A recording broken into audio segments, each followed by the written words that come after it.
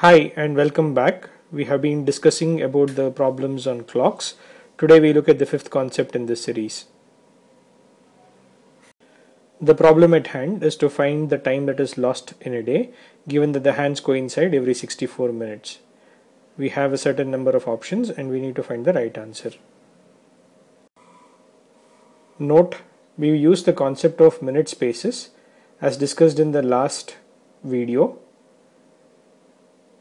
According to the minute spaces, there is a specific time at which the hands have to coincide.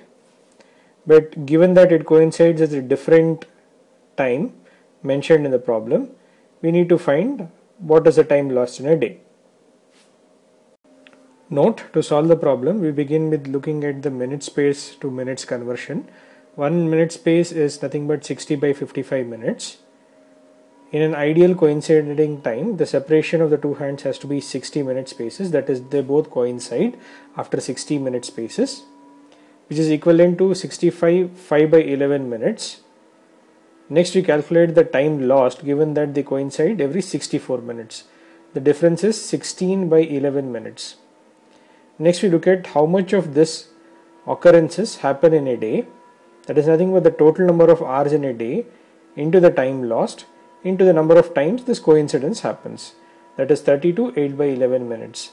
That is the answer.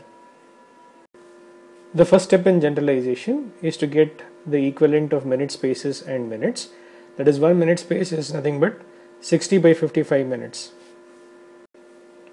The next step is to determine the ideal coinciding time. The two hands coincide after 60 minute spaces. That will be equivalent to 65 5 by 11 minutes. If we are given that the two hands coincide after k minutes, we subtracted from the ideal coinciding time. Let us assume this is m minutes.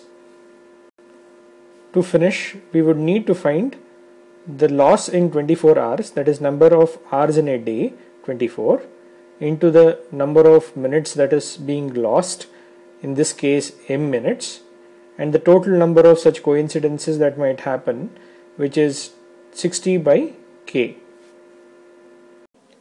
Thank you for watching Train4Aptitude. Encourage us by subscribing to our YouTube channel and liking the Facebook page. You could also catch us on our website trainforaptitude.in.